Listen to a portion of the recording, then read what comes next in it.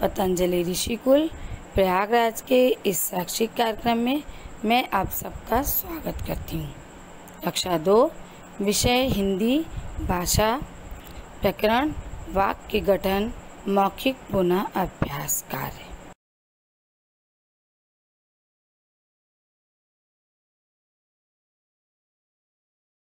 Good morning बच्चों।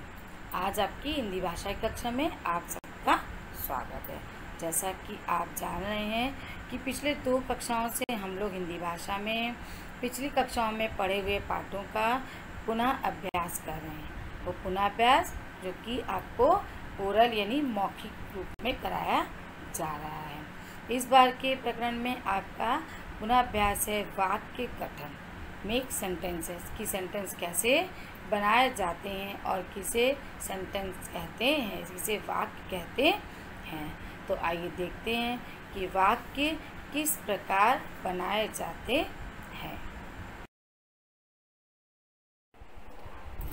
वाक्य गठन मतलब कि वाक्य को बनाना। शब्दों की सहायता से हम लोग वाक्य बनाते हैं। वाक्य शब्दों के सही मेल और जोड़ से बनते हैं। जब हम एक दूसरे से बात करते हैं तो आपस में कई तरह के वाक्य बोलते हैं और अपनी बात दूसरों तक पहुंचाते हैं।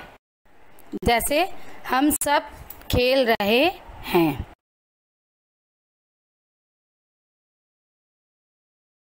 वाक्य में सभी शब्दों का सही जगह पर प्रयोग करना ज़रूरी है, ताकि हम उसका अर्थ समझ सकें।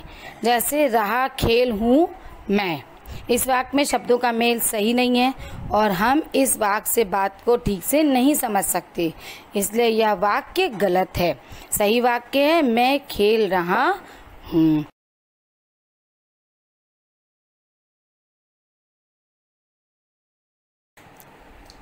आओ देखें वाक्य कैसे बनते हैं। हम प्लस पढ़ प्लस रहे प्लस हैं। हम पढ़ रहे हैं।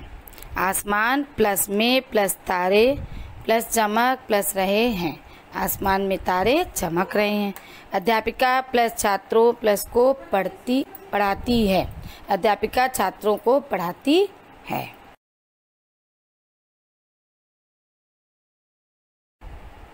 हमने सीखा कि भाषा के वर्णों के मेल से शब्द और शब्दों के मेल से वाक्य बनते हैं।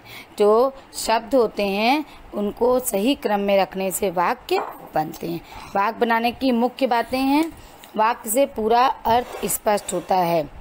वाक्य एक निश्चित क्रम में लिखे जाते जैसे हमने कहा कि शब्दों को सही सीक्वेंस में वाक्य में आए शब्दों में लिंग, वचन आदि का मेल होता है। अब ये भी आपको देखना होता है कि जो वाक्य है, उसमें जो काम हो रहा है या जो पर्सन है, उसका क्या लिंग है और किस वचन में उसके अकॉर्डिंग भी वाक्य को हम बनाते हैं। जैसे कि, जैसे लड़की पढ़ रहा है यह गलत वाक्य है।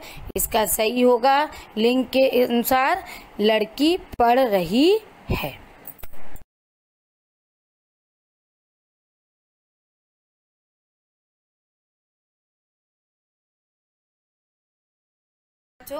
आप लोगों ने देखा कि वाक्य कैसे बनते हैं।